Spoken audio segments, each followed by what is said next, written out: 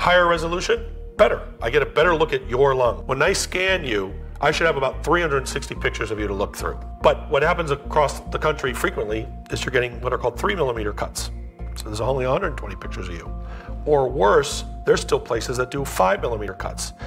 Five millimeter cuts is the equivalent of whatever TV you have on the wall right now. Think of the TV you had 50 years ago. That's what your doctor's looking at making decisions about you.